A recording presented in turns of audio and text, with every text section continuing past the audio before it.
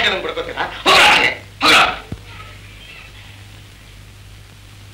ನೋಡ್ದೇನೆ ಗಂಗಿ ಆ ವೀರೇಗೌಡ ಸೊಕ್ಲ ಸ್ಟೇವ್ ತಂದಿನಿ ಸಿಗಕ್ಕೆ ಉದುರಿಸ್ಬೇಡ ಅಂದ್ರೆ ನನ್ ನೋಡ್ಸಕ್ಕೆ ತನ್ನ ಕಡೆಯವ್ರನ್ನೆಲ್ಲ ಕರ್ಕೊಂಡ್ ಬಂದವನಲ್ಲ ಆ ಟೇಮ್ ಸರಿಯಾಗಿ ಆನಂದಪ್ಪ ಗಾನ ಬರದೇ ಇದ್ದಿದ್ರೆ ತಲೆ ತಲೆ ಉರುಳೋಯ್ತಿತ್ತು. ಹೇಳ್ತೀಯಲ್ಲ ಕೋಲ್ಟೆ ವಾರ ಬೇಡ ಅಂತ. ಹಿಂಗಾದ್ರೆ ಏನ ಮಾಡೋದು? ಇಂತ ಸಣ್ಣ ಪುಟ್ಟ ವ್ಯವಹಾರಕ್ಕೆಲ್ಲ ಕೋರ್ಟು ಕಚೇರಿ ಹತ್ತಿದ್ರಿಂದ ತಾನೇ ಈ ಜಗಳೆಲ್ಲ ಬಂದಿದ್ದು. ಹೋದ್ರೆ ಹೋಗ್ಲಿ ಅಂತ ಸುಮ್ಕೆ ಇದ್ಬಿಟ್ಟಿದ್ರೆ ಯಾಕಾಯ್ತಿತ್ತು ರಾಮಾಯಣ ಎಲ್ಲ? ಇನ್ನೂರು ರೂಪಾಯಿ ಸೀಗೆಕಾಯಿಗೆ ಏಳ್ನೂರು ರೂಪಾಯಿ ಎತ್ತು ಗಾಡಿ ಯಾಕೆ ಮಾರ್ಬೇಕಾಗಿತ್ತು? ದುಡ್ಡು ಹೋದ್ರೆ ಸಂಪಾದನೆ ಮಾಡ್ಬೋದು ಕಣೆ. ಮಂತರದ ಬರವಾದೆ ಹೋದ್ರೆ?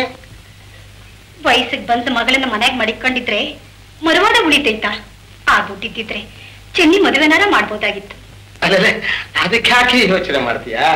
ಈ ವರ್ಷದ ಬೆಳೆ ಮಾರ್ಬಿಟ್ಟು ಮದುವೆ ಮಾಡ್ಬಿಟ್ರೆ ಆಯ್ತಪ್ಪ. ಬರೋ ಇಷ್ಟು ದವಸ ಮಾರ್ಬಿಟ್ರೆ ಹೊಟ್ಟೆ ಬಟ್ಟೆಗೆ ಏನ್ ಮಾಡೋದು?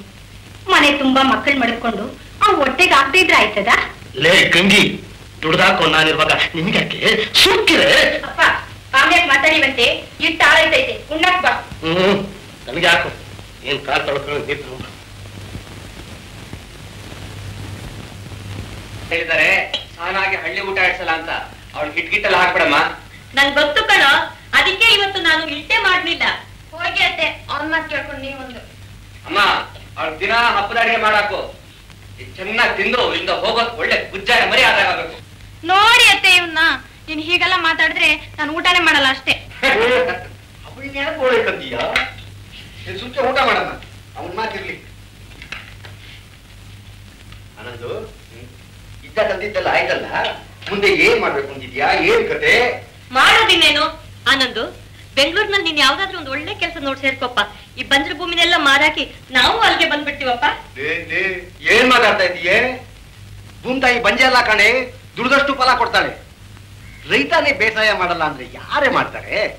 ಹೌದಮ್ಮ ಅಪ್ಪ ಹೇಳೋದು ಸರಿ. ನಾ ಹುಟ್ಟಿದ ರೈತನಾಗಿ ಬೆಳೆದಿದ್ದ ರೈತನಾಗಿ ಕಲ್ತಿರೋ ವಿದ್ಯೆನೂ ರೈತನಿಗೋಸ್ಕರವಾಗಿ. ಅಮ್ಮ ಅಪ್ಪನ್ ನಾನು ಮಾತು ಕೊಟ್ಟಿದ್ದೀನಮ್ಮ. ಇದೇ ಬಂಜರ ಭೂಮಿಲಿ ನಾನು ಬಂಗಾರ ಬೆಳಿತೀನಿ ಅಂತ.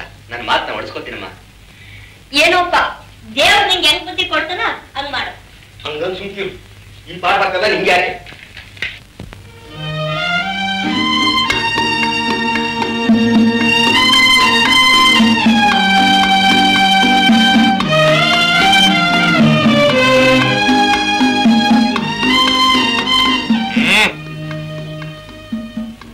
ಇದೇನಿದು ಆನಂದ್ ನೀವು ಬರಿತಾ ಇರೋದು?